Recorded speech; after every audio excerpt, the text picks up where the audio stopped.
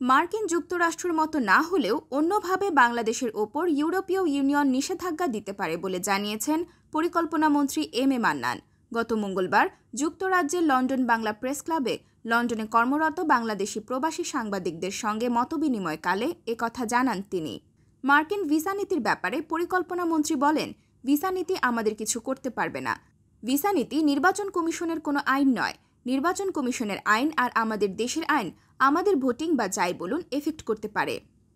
মার্কিন যুক্তরাষ্ট্র যে ভিসা নীতি ঘোষণা করেছে, তার তালিকা আপনার কাছে আছে কিনা তাতে আপনার নাম আছে কিনা এমন প্রশ্নের জবাবে এম এ মান্নান বলেন আই হ্যাভ নো আইডিয়া যুক্তরাষ্ট্রের অনেক মিত্র দেশ আছে, তারা এই পর্যায়ে যাবে কিনা এমন প্রশ্নের জবাবে পরিকল্পনামন্ত্রী বলেন, আমি শুনেছিলাম, প্রথমে আরও দুই চারটি রাষ্ট্রের ওপর নাকি আছে I am not very clear অন্যান্য রাষ্ট্র বাংলাদেশের ওপর দেবে কিনা এমন প্রশ্নে তিনি বলেন, প্রত্যেক রাষ্ট্রের একটি কৌশল আছে, ইউরোপীয় ইউনিয়নের একটা নাম বলেই ফেললাম।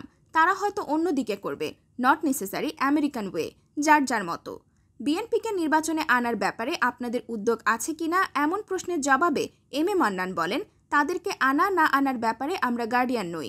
আমরা তাদের দল সৃষ্টি করি নাই, তারাই তাদের দল সৃষ্টি করেছে।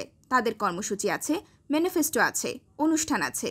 তাদের আছে, আমাদেরও আছে, অন্যান্য দলেরও আছে। সব দলকে মানতে বাধ্য সংবিধান, রাষ্ট্র, সরকার। তিনি বলেন, তারা আসবে, সরকার গঠন করেছে অতীতে, আবার করুক ভোট নিয়ে এসে। কিন্তু সংবিধানকে অবজ্ঞা করে আইন কানুন না মেনে নির্বাচন কমিশনকে অস্বীকার করে এবং বলে, এ থাকলে নির্বাচন করব না, অমুক প্রধানমন্ত্রী থাকলে আমরা নাই। এই ধরনের হঠকারী বক্তব্য কোনো দলীয় বা পার্লামেন্টারি ডেমোক্রেসি অথবা গণতন্ত্রের ভাষা না। Desk report, Bartabazar.